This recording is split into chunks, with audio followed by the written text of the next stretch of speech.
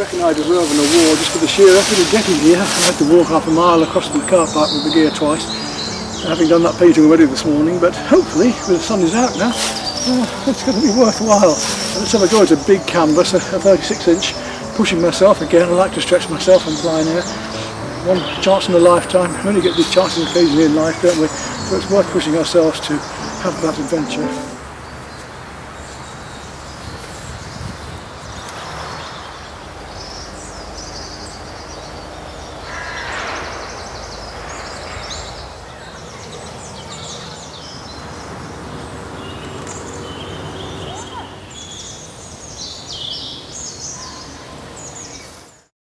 Well, there we are then. That one to do for that one. Push me, but it's been fun. Successful it is, but it could have been worse.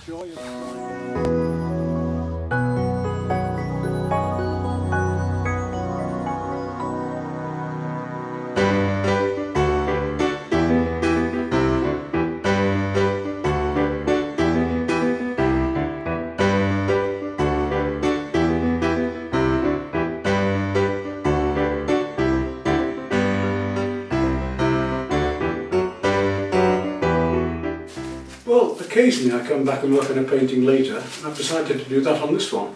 Um, this one at Normanby Hall. And uh, I started this last spring, went out in plein air and painted it. Great uh, thing to do, working on plein air. I much prefer working in plein air, it's far more demanding and you see far more. Um, but pushing a big painting like this in the few hours I had, so I wasn't ever really satisfied. Let's take a look at how it was then beautiful scene to paint and on the way down to the scene I managed to find a, a yacht moored up on, on the mudflats on the Humber, stopped there and painted that a short while and did this scene which is rather lovely.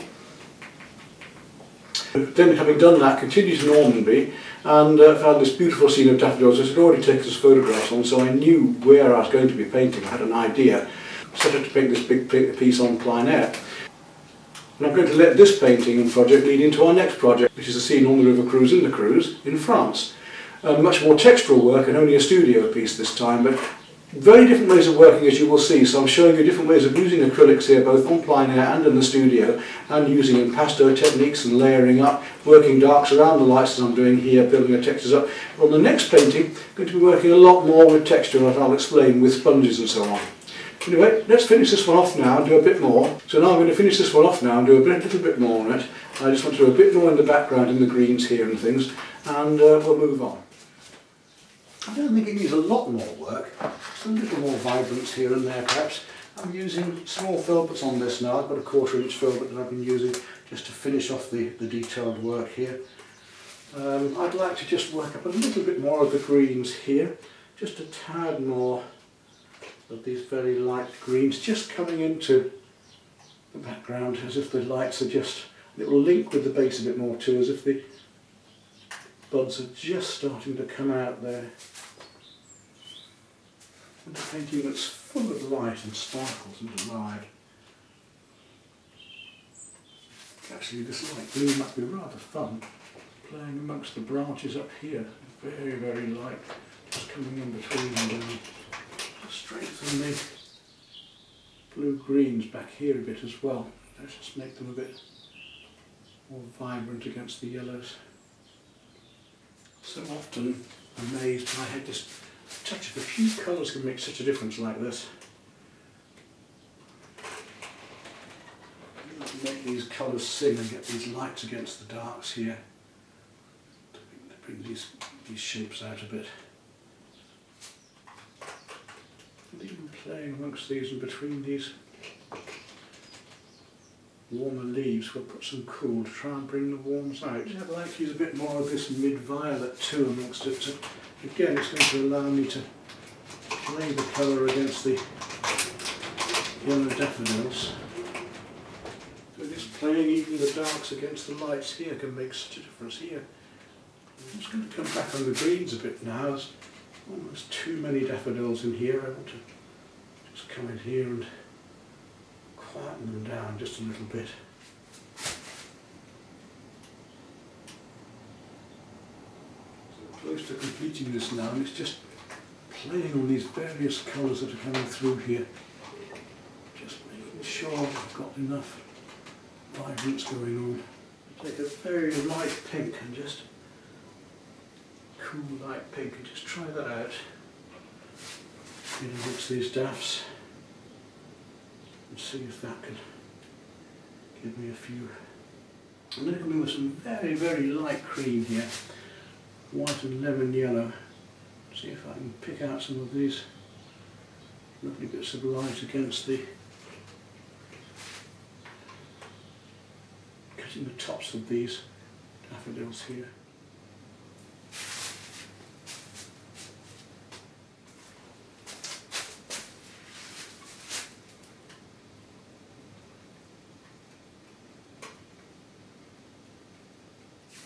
To mix some cadmium orange, cadmium yellow with some white. Just see if we can bring out the lights here more strongly into the foreground. Make the cools vibrate against the warms again.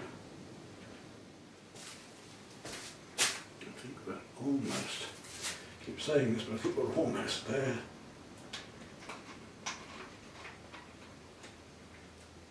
Look at the sunlight on here a little bit. Take some raw sienna and yellow ochre and just feel the warms there a little bit. Even that. To take that very light turquoise and some white. Make a very, very light, very light turquoise. Just see what that does up here. These pools. Especially right up into here. In fact, there's little bits of light shining down through here.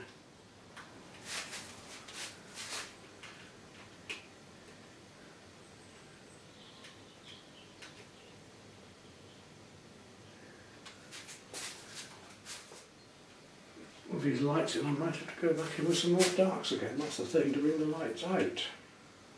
Been looking at it so long now, I'm starting not to see it. I need to take a step back, I think, soon and have a little break from it or start another one.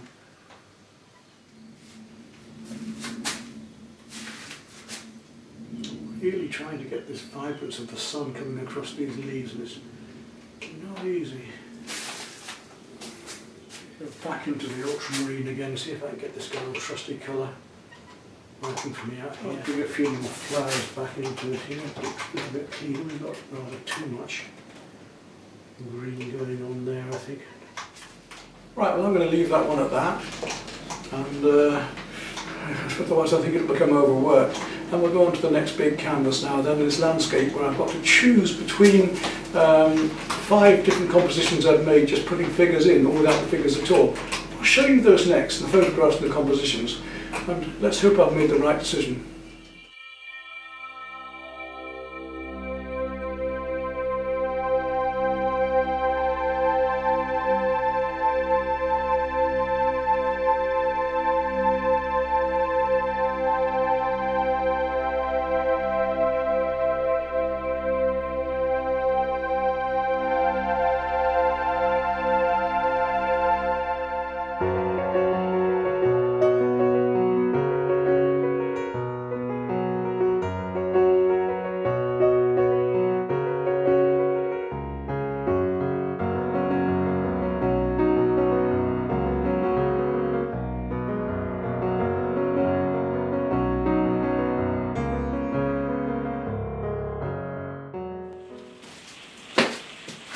I've drawn out the basic composition now. I think I will probably put the two figures here rather than there or there. But before I start this painting, what I want to show you now is that uh, the use of the sponge roller that we're going to use at this time for making the whole background and light effects and covering the canvas of this landscape, that this technique of using the sponge roller can be used for exterior scenes, interior scenes, all sorts of different ways. So I'm just going to show you a couple of previous paintings, just briefly, to show you the use of the sponge roller for a street scene, an exterior scene, an interior scene in a cafe and so on, just to show you how versatile the sponge roller can be. We've just seen a painting done with brushes only, large and small brushes. Now we're going to see one that's done with the sponge roller, and we're going to see one that's done with a big trowel, cement trowel, and painting knives and all sorts. the versatility of the methods. But we're going to do this one entirely with the sponge roller and with brushes.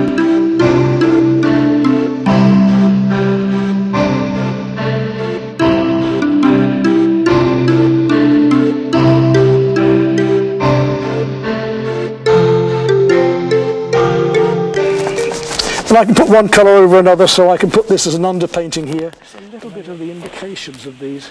Right, this painting you see here is a demonstration for Driffield Art Society and it was done using a sponge roller and then using a big cement trowel and a painting knife and brushes.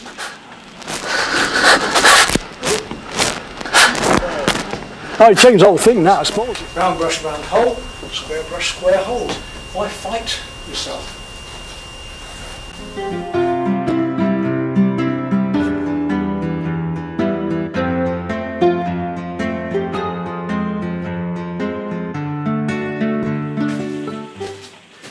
Next painting you see here is one of the secret series, the 2019-2020, um, where I'm using the sponge roller to start the whole painting off and then to complete with brushes.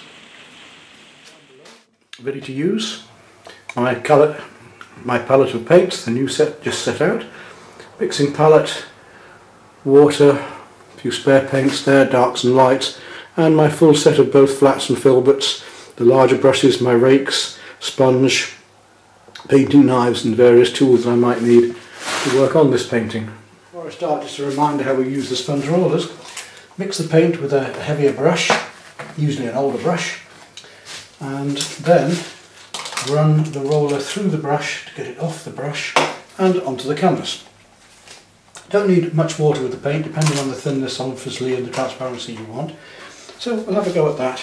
And uh, I want to start mixing up a golden green going on here. So I'm going to take a little bit of water, a little bit of yellow ochre in this case, maybe a touch of warmth into it from there, and a wee touch of green just to get me going.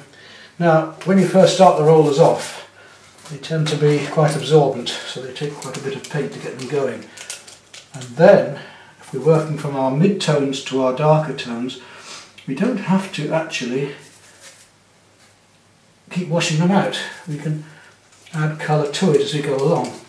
So there we are, rolling through that. fairly thin mix at the moment because I want the drawing to show through. From there and out of my painting.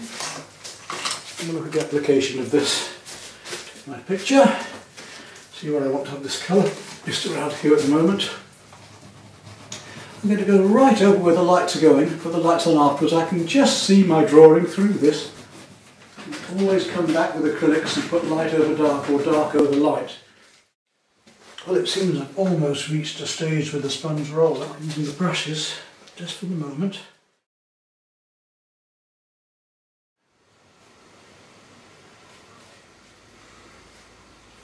Now, do I need anything else? I was thinking the other day about more red in it, but have a little look and see. About these magentas perhaps, here and there. So let's call it a day at that and sign it, take a photograph and uh, look to the next one in series. Well, the first one of this winter's secret series then.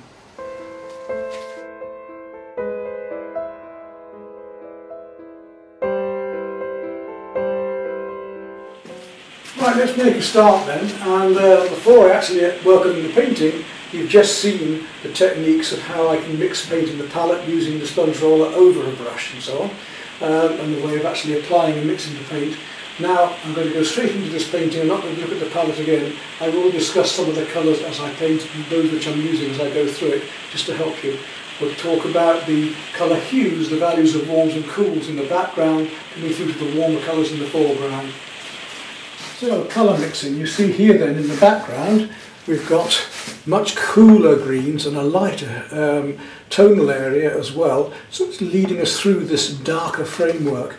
I'm going to bring out the figures as a shaft of light coming through from here, just coming across through this edge, uh, which isn't there now. These are superimposed figures as we've seen, showing you the different versions of this.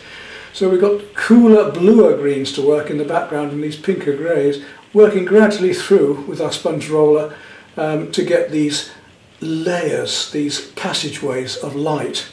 And then, once I've got all of these effects of light in, I'm going to come back after you use the sponge roller to get the, the marks and the shapes right. I'm going to come gradually back in with texture of sponges and painting knives and all sorts. We'll have fun exploring and experimenting with textures as well on this one. Start off with a nice big brush to mix with, a little bit of water into the palette as you've seen. I'll take some emerald green here, some light emerald, a wee touch of lemon yellow just to make it a bit greener just to get it damp to start with, get too wet, just to get it moving. Roll, roll my roller through the paint as we've seen already, and then come up with this lovely pale, gentle colour here in the background, up through here. And we're going to get this mottled effect as this light comes up through, right, right through here, down to the water, behind these branches. I'm going to bring stronger as I. I still see my drawing through here, It's another beautiful thing about working like this. It's not transparent, but it's just clear enough that we can see colours through. already we can start to get the feeling of water and reflections. Put some more of that green back in there in a moment to reflect into this water. It's a bit bluer down there. But whatever it is, we've got to put it in. I don't know of any other way. You could do this with a brush, but it wouldn't be nearly as easy. And we'll gradually move towards the stronger greens and start to add in some emerald and some more yellow in it to start to get these more yellowy greens that are happening through here. I'm going to go over most of that because I'm going to bring lighter colours in back. I can put with acrylics across, I can put light backwards and forwards so I can go backwards like this into the, the darker colours and I can come forward again back into the light. You see now how these stronger, deeper colours are making more sense as I go on and add more of them into here. Very quickly I can establish these warm and cool greens and hues in the background here. And the more blues in where they're required too. Got the bluey greens, we've got the yellowy greens, we've got all these lovely, beautiful colours to gradually find and bring out in here. We bring some of these cooler blues and greens into to here.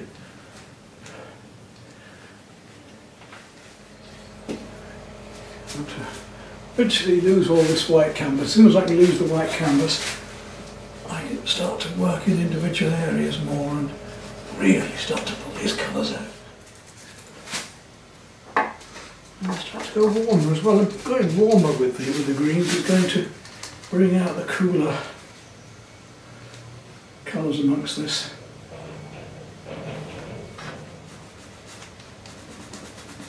lose all of this horrible light grainy canvas which unless I was going to put another coat of gesso or white over it has to go. Let's start to some of our very deep cooler colours. We'll come down to a very deep blue now. Almost into a black here and uh, really start to find some of these shadows.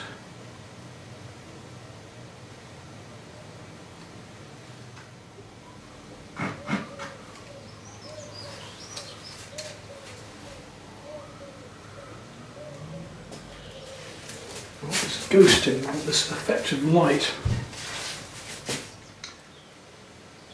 I can see what I'm doing far more now.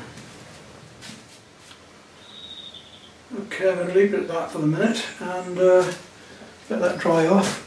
I might do some more work with the roller, but I could start really with sponges and brushes now. Well, I've got the base coat on now, ready for the uh, rest of the textural work, the brush work and the sponge work. I could do a bit more with the rollers, I might do, we'll see. Um, but I really want now to get on with defining these, these textures and, shapes, rocks, stones, lights. Um, but there's our base coat done with the roller, so you can just get the idea of how the roller can be used for landscape as well. pitch.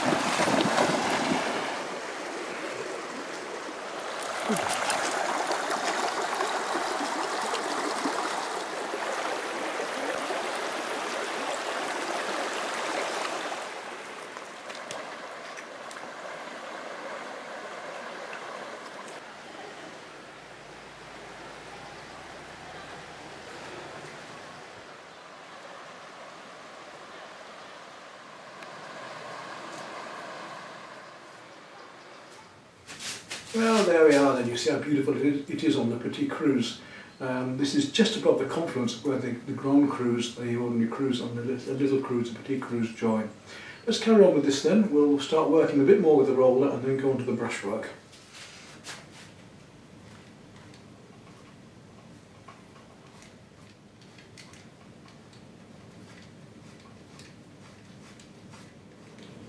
Use colour hues and tones gradually build up so gently in this way. Well, the next thing is to work in with smaller sponges and brushes. I think I'll work with the brushes first of all. I'm going to continue with my filberts for the moment uh, and come down to not, not the larger filbert but a smaller one and already start to work in some of the larger leaves and all of these various colours that are happening in the background. A little bit more with these textures too, just to see what we start to get on these colours. Straight away the difference between the texture from a brush. And I start to pick up at hinting at the, light and dark edges of these bits of rock. Loads of things to do, loads of work to do, but that's, that's good fun to keep me occupied for the moment. I get bored rather easily and uh, this sort of painting certainly has me looking and watching and enjoying.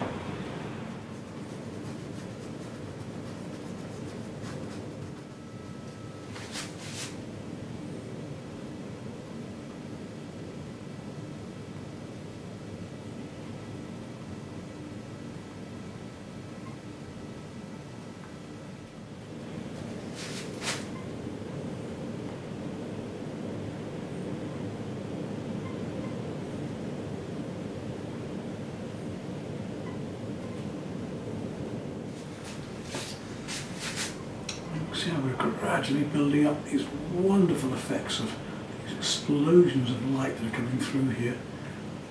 Cascading leaves, cascading showers of sunlit leaves that build up the darker branches shortly as well.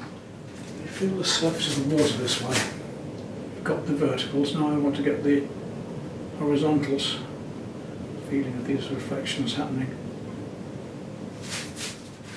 these larger strokes in. The textural ones with the sponges are going to be much smaller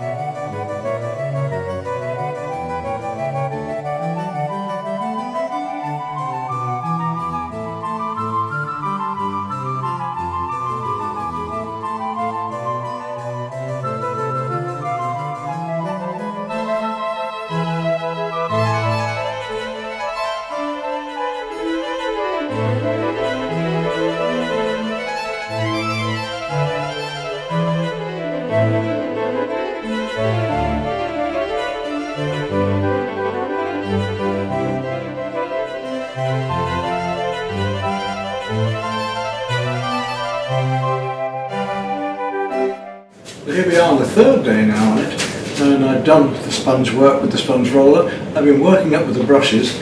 Next I want to go on to doing some sponge work with the fine sea sponges and uh, then we'll work back in with the big brushes again, start putting in all these very light um, sunlit leaves and the warmer colours that will bring it forward and push these cooler ones right back.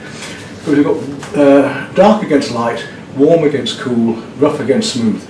So we've got the cool in the background, the warm in the foreground, we've got the dark against the light, we've got the rough and the smooth going on to get these various effects. In putting in uh, warmer colours in the foreground here, it's going to push that back even more.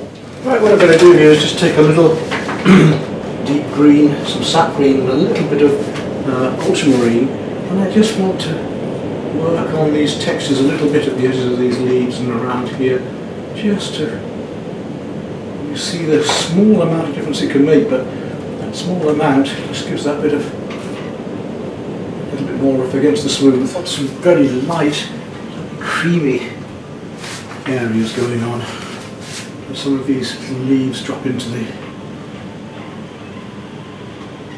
Some of this I can do with the brush, some of it I can do with the sponge. Not only strong winds but uh, rains as well now in this storm carry with a small filbert and uh, using the sponging now. I'm going back to these lovely leaves here and I want to start adding these nice warms amongst this which are going to really bring out these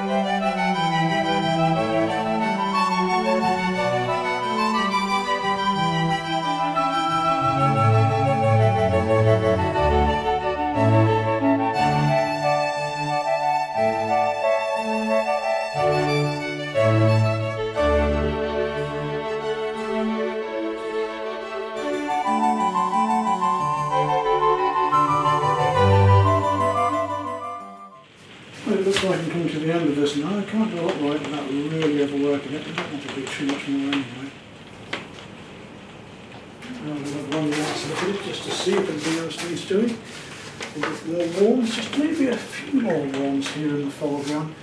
A little bit of, of the reds, a bit of cadmium, a little bit of um,